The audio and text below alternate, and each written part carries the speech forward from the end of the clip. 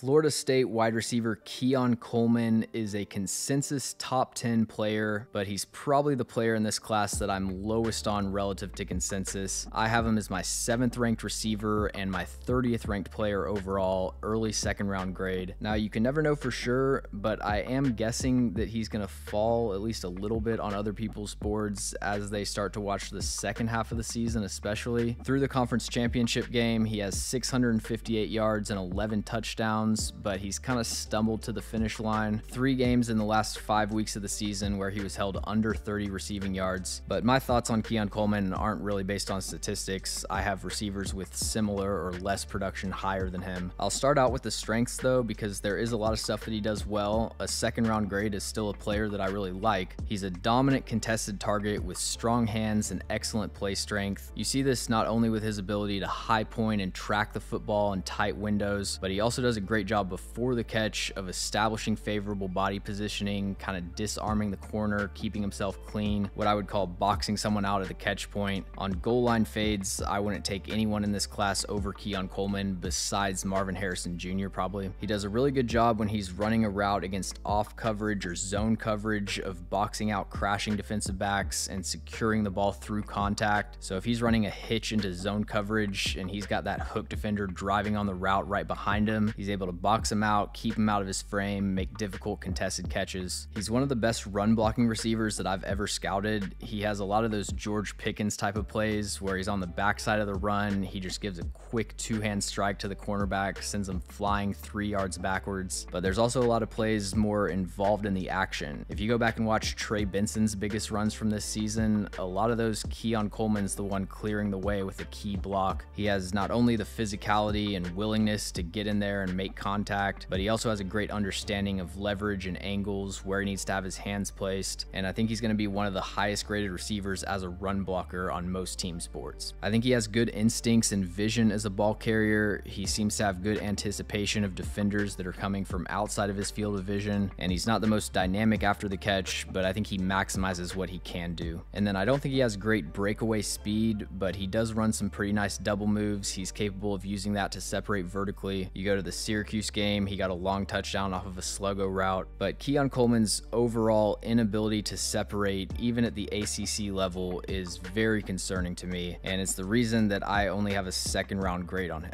His route breaks are slow and rounded, dig routes look like semicircles with Keon Coleman. He's listed at six foot four. I see him more at six foot two, but we'll give him the height and size. Outside of that, I don't really think he has any elite athletic traits. His speed to threaten over the top without a double move is pretty underwhelming. His quickness and fluidity, explosiveness out of his breaks is just not there to me. He's a slow starter, doesn't have great acceleration off the line of scrimmage, and I don't think he makes up for that with enough nuance or advanced technique as a route runner. He telegraphs most of his breaks, he doesn't do a whole lot to set up defenders and coerce them into false steps, and then a lot of that extends to his ability or inability to beat press coverage. He just has average foot quickness, he doesn't really have the twitch to threaten defenders at the line of scrimmage, and you see him get stuck by average ACC corners that are in phase from the snap to 10 yards down the field. Now, there are times he does a good job with his hands to defeat press coverage. He has a pretty effective white move that he uses sometimes to knock down that inside hand. I'd like to see him lean more into that and just start powering through press coverage instead of trying to beat them with quickness and footwork. But even when he is able to get some leverage against press coverage, again, the speed down the field isn't really threatening, so they're usually able to stay in his hip pocket. And overall, it's just really hard for me to see Keon Coleman separating against NFL corners. So for him to be a successful NFL receiver, he's going to have to win at the catch point in those contested jump ball situations. And if you look up his highlight reel, again, he has some of the most dominant contested catches of anyone in this class, but it wasn't necessarily an efficient play for Florida State. He finished the year 10 of 30 on contested catches. Again, I think the physical traits are just average to above average, which is a lot of being able to win those contested catches in the NFL. And overall, throwing to an open receiver is a lot more efficient than throwing a jump ball, no matter who's catching it. So I see the high end comp for Keon Coleman as a slightly less athletic George Pickens. I think DeVante Parker is probably more of a mid range comp for him, but I do see a lot of N'Keal Harry, unfortunately. And, you know, I always hope that I'm wrong on these players, even though it might make me look like a worse draft analyst. I genuinely do root for everyone to succeed, but especially with with Keon Coleman because he is an incredibly fun player to watch. His demeanor and play style, if that hits in the NFL, it's going to be a really entertaining player for whoever drafts them. But the difference between watching Keon Coleman on the broadcast and watching him on tape was pretty jarring because what he does when he runs off the screen was the most concerning thing to me. And I just can't put a first round grade on someone that I don't view as a high level separator.